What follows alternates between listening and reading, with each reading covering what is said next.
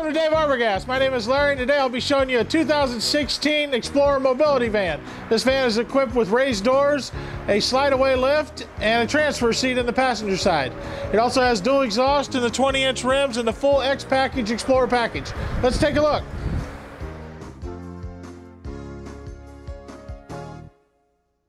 This van is equipped with automatic doors. It has a key fob remote. You just hold the button.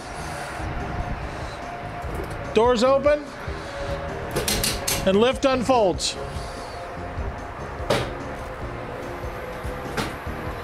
Once it gets to that position, then you push the down button and the lift will come down.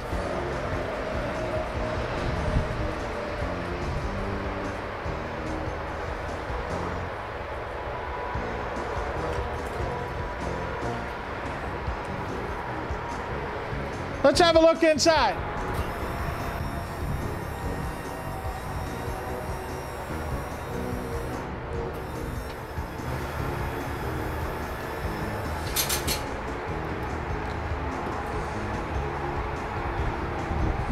This van was specially ordered with a transfer seat, as you can see spins around. So once the person's inside, they can back the wheelchair back up and slide over into this seat and then it spins around. Um, this one was ordered with no television, however you can get a 29 inch flat screen and a Blu-ray player in one of these also. This van is also equipped with four point tie down so you can strap the wheelchair down. It just has a quick release here on the red button and then this just hooks around the chair.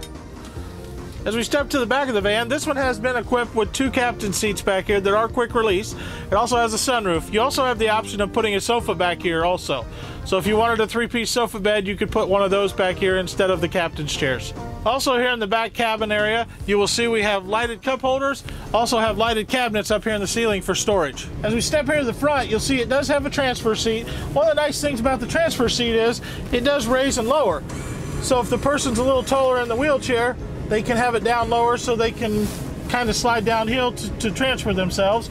Or if they're getting out, they can raise it up high and then slide downhill to get back into their scooter or their chair.